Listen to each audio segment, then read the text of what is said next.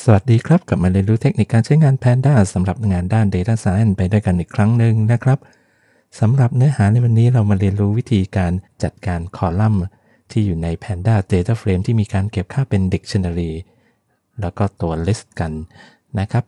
ลองมาดูตัวอย่างกันเลยดีกว่า อันนี้เริ่มต้นมาผมก็ import ตัว pandas เข้ามา แล้วผมก็ import ตัว JSON เข้ามาด้วย แล้วก็อันนี้ผมให้ดูเวอร์ชันที่ใช้ แล้วก็มาดู test data นะครับ ในหลาย ๆ ครั้งนะครับ ข้อมูลของเราโดยเฉพาะข้อมูลที่อยู่ในรูปของ JSON พอเอามาทำเป็น Data Frame แล้ว อย่างเช่นอันนี้ผมมีข้อมูลของตัวโปเกมอนนะครับ 5 ตัวแรกเนี่ย ซึ่งในนี้นะครับ พอผมอ่านเข้ามาเนี่ย จะสังเกตเห็นว่าคอลัมน์ name เนี่ย มันมีการเก็บค่าเป็น dictionary ส่วนคอลัมน์ type เนี่ยมีค่าเป็นตัว list นะครับ แล้ว base เนี่ยก็เป็น dictionary ซึ่งตัว dictionary เนี่ยถ้าข้อมูลใน JSON ของเราเป็นตัว object ก็จะถูกแปลงเป็น dictionary ถ้า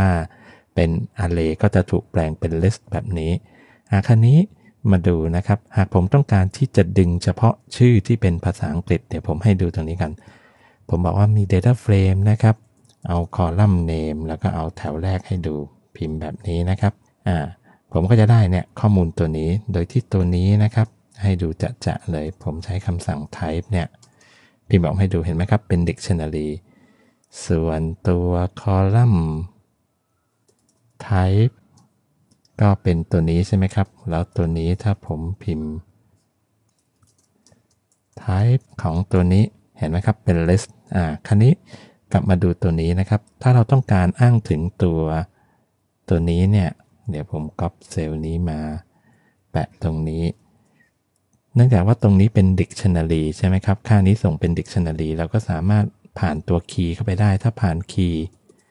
เป็น English เข้าไปแบบนี้เห็นไหมครับ เราก็จะได้ตัวเบาประสอกมา นะฮะ ถ้าผ่านเป็นตัว Japanese แบบนี้เราก็จะได้ตัวชื่อ ภาษาญี่ปุ่นออกมา หากคันนี้ลองดูนะครับ หากผมต้องการสร้างอีกคอลัมน์หนึ่งขึ้นมาใน Data Frame ตรงนี้นะครับ ที่เป็นเฉพาะชื่อภาษาอังกฤษอย่างเดียวเนี่ยผมจะทำยังไง ก็คือในนี้เนี่ยเราดึงเฉพาะแต่ละแถวออกมาได้ใช่ไหมครับ ตรงนี้เนี่ยถ้าผมบอกตรงนี้เป็น 1 ก็จะได้โปเกมอนตัวที่ 2 ในตัวนี้เนี่ยนะเดี๋ยวผมพิมพ์ Data Frame มาให้ดูอีก ทีหนึ่งชัดๆนะครับอาคันนี้เราต้องการสร้างอีกคอลัมน์หนึ่ง เราจะใช้หลักการอะไรนะครับ เราก็สามารถบอกตัวนี้ได้นะครับ เราบอกว่า name คอลัมน์ name ก็ใช้ตัว apply เนี่ย apply กับซีรีส์ก็คือตัว df df name ตัวนี้คือบอกมาเป็นซีรีส์ใช่ไหมครับ แล้วผมก็ lambda v ย่อมาจาก value แล้วกันนะครับ แล้วก็ตรงนี้เนี่ย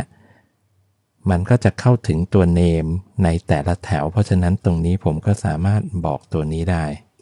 แบบนี้ดูนะครับ ถ้าผมรันตัวนี้ เห็นนะครับ ผมก็จะได้เฉพาะชื่อที่เป็นภาษาอังกฤษออกมา ซึ่งจากตรงนี้นะครับ ผมก็สามารถบอกว่า ตั้งชื่อนี้ดีกว่าชื่อภาษาอังกฤษแบบนี้แล้วก็พิมพ์ Data Frame ออกมา เดี๋ยวเปรียบเทียบตัวที่กำลังจะออกมากับตัวนี้นะครับ ซึ่งตรงนี้พอผมรันปุ๊บเห็นไหมครับ ผมจะได้ตัวคอลัมน์ name en เนี่ยขึ้นมาละ อันนี้คือวิธีการดึงข้อมูลออกมา หรือว่าเราจะทำอย่างนี้ยังได้เลยนะครับ สมมติว่าอันหนึ่งผมต้องการเป็นคอลัมน์ที่เป็น name en English แล้วก็วงเล็บของภาษาญี่ปุ่นนะครับ ว่าเราจะทำยังไงคันนี้เราก็เขียนคล้ายๆเมื่อกี้นะครับ เดี๋ยวผม Copy ตัวนี้มาดีกว่า Copy ตัวนี้มาแล้วก็แปะไว้ ตรง Lambda ตรงนี้โชว์เฉพาะชื่อภาษาอังกฤษใช่ไหมครับเราก็เปลี่ยนตัวนี้นะครับ ใส่เป็น f string เข้าไปนะครับ f string ตรงนี้ แล้วก็อันนี้ก็อยู่ในวงเล็บปีกาอ่าแล้วก็ผมบอกว่ามีวงเล็บ แล้วก็ชื่อภาษาญี่ปุ่นนะครับกรอบอันนี้ได้เลย ตรงนี้ก็ แบบนี้เดี๋ยวนะฮะ ถ้าผมทำแบบนี้ แล้วก็รันเห็นไหมครับ เราก็ได้ชื่อภาษาอังกฤษวงเล็บ ชื่อภาษาญี่ปุ่นออกมาแบบนี้นั่นเองนะครับแล้วเราก็สามารถไปสร้างเป็นชื่ออันใหม่ก็ได้นะครับ ตรงนี้ผมก็บอกว่า สมมุติว่าผมตั้งชื่อแบบนี้แล้วกัน ตั้งว่าเป็นโปเกมอนแบบนี้ แล้วก็ df เห็นไหมครับ คราวนี้เราก็จะได้ชื่ออันหนึ่งเป็นแบบนี้ นี่คือวิธีการเข้าถึงข้อมูลนะครับ ที่อยู่ในรูปของ dictionary นะฮะหรือว่าผมจะสร้างคอลัมน์เนี่ย HP ดึงเฉพาะ HP ออกมาเป็นอีกคอลัมน์หนึ่ง ผมก็เขียนโค้ดแบบเมื่อกี้เลยนะครับ ก็เนี่ยจริงแล้วเทมเพลตเหมือนกัน Copy ตัวนี้มาได้นะครับ แปะเข้าไป ตรงนี้เดี๋ยวผมให้ดูทีละขั้นกัน ตรงนี้มันก็คือคอลัมน์ชื่อว่า base ตรงนี้เปลี่ยนเป็น base นะครับ base เอาค่า HP นะดูนะฮะรันดู อ๋อโทษทีตรงนี้ยังไม่ต้องพิมพ์อันนี้ เห็นไหมครับ ค่า HP เนี่ยตัวแรก 45 60 80 เนี่ยไล่กันมานะครับ ตรงนี้พอได้เสร็จปุ๊บผมก็สามารถที่จะบอกแบบนี้ได้นะครับ ก็คือ df นะครับ ค่า HP ดึงออกมาจะจะเลยแล้วก็พิมพ์ data frame เห็นไหมครับ ก็จะได้เนี่ย อันนี้คือวิธีการดึงข้อมูลที่อยู่ในรูปของ dictionary ที่เก็บอยู่ในคอลัมน์ของ ตัว data frame คราวนี้เรามาทำงานกับตัวที่เป็นตัว array บ้างนะครับ ว่า array เนี่ยเราจะทำยังไงนะฮะสมมติตรงนี้ผมก็ว่า df type เห็นไหมครับ ได้แบบนี้ และถ้าผมบอกว่าเดี๋ยวผมทำให้ดูเฉพาะตัวแถวแรกแล้วกัน ผมว่าพิมพ์แบบนี้ใช่ไหมครับ เนี่ย glass poison เนี่ย ถ้าผมเอาแถวที่ 4 เอาแถวที่3นะครับ index เบอร์3เนี่ยผมก็พิมพ์แบบนี้ใช่ไหมครับเห็นไหมครับก็ได้ตัวนี้ออกมา เพราะฉะนั้นพอเป็น array เนี่ยเราสามารถที่จะทำแบบนี้ได้ถ้า type 0นะครับมีค่าเป็นอันนี้ 0 แล้วก็บอกเอาตัวแรกก็คือตัว glass เนี่ยออกมาเห็นไหมครับ ถ้าผมบอก 1 ตรงนี้ก็ได้เป็น poison นี่ก็คือการเข้าถึงตัวที่เป็นตัว ตัว array หรือว่าตัว list นะครับที่อยู่ในนี้ อย่างเช่น เดี๋ยวผมบอกว่าจะสร้างคอลัมน์ชื่อว่า main type ซึ่งดึงค่า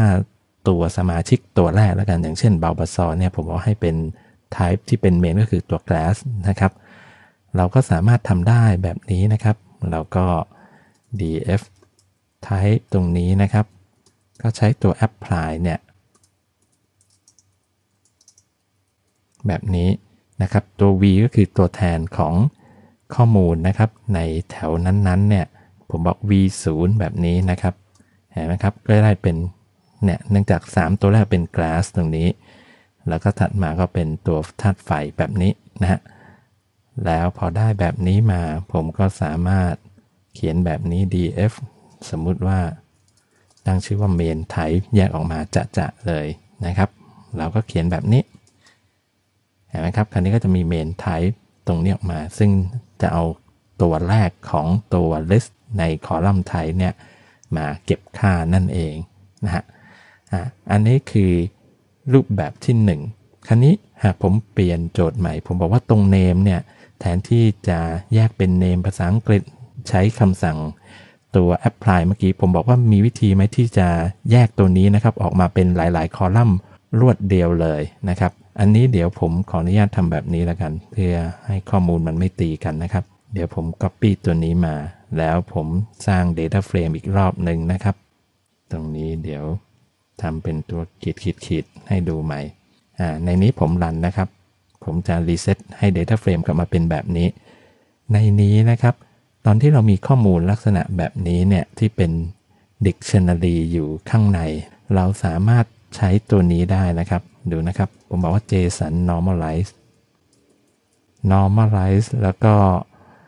บอกตัวซีรีส์ตัวนี้เข้าไปนะครับ data frame name เนี่ยเดูนะฮะ run อาโทษทีนะครับ JSON normalize เนี่ยผมจะต้อง import ตัวนี้เข้ามานะครับ ตอนที่จะใช้เนี่ยอย่างแรกเราจะต้องมีตัวนี้ ก็คือตรงนี้มีการ import ตัว pandas io json อ๋อตัวทีตรงนี้เป็น from ตรงนี้ แล้วก็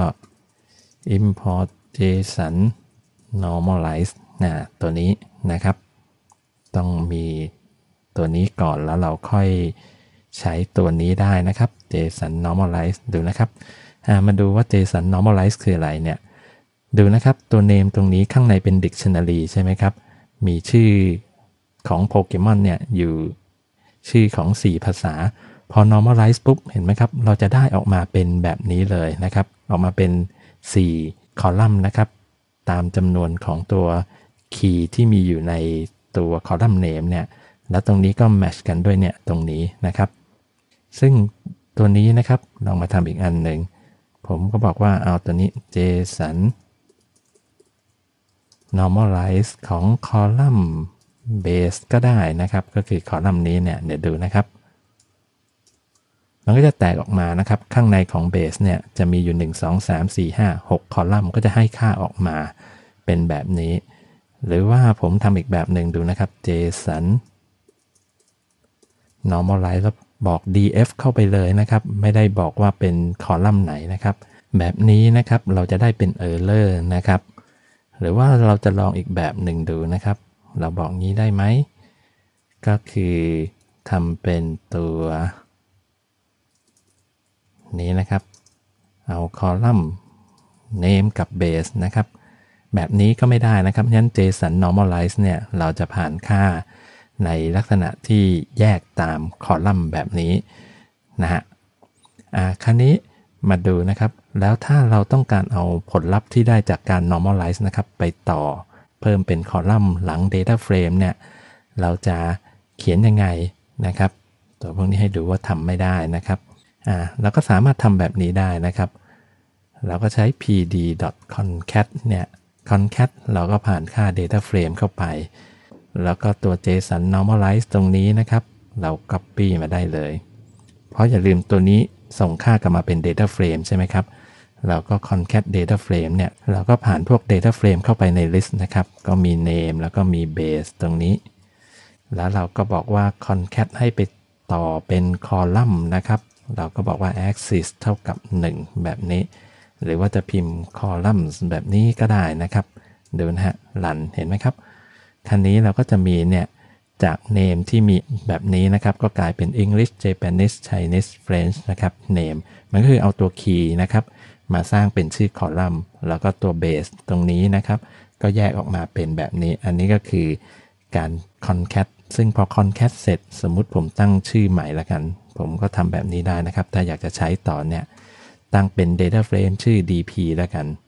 แล้วก็พิมพ์ dp ออกมาเห็นไหมครับคราวนี้เราก็สามารถ dp แล้วก็ขอตัว English ขอโทษที dp เห็นไหมครับ ได้เป็นแบบนี้นะฮะ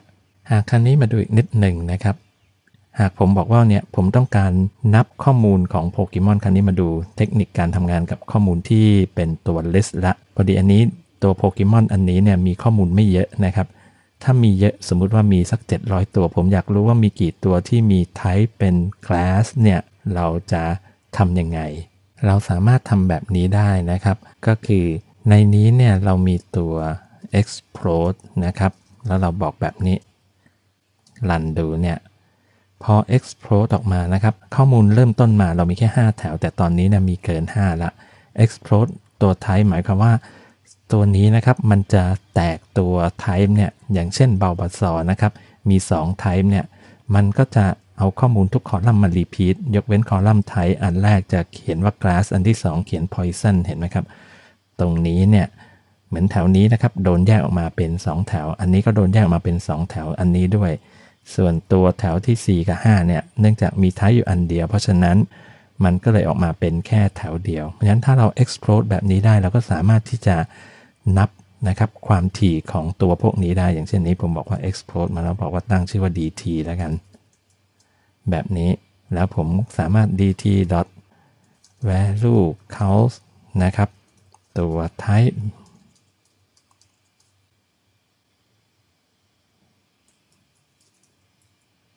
เดี๋ยวนะครับ มันต้องเขียนแบบนี้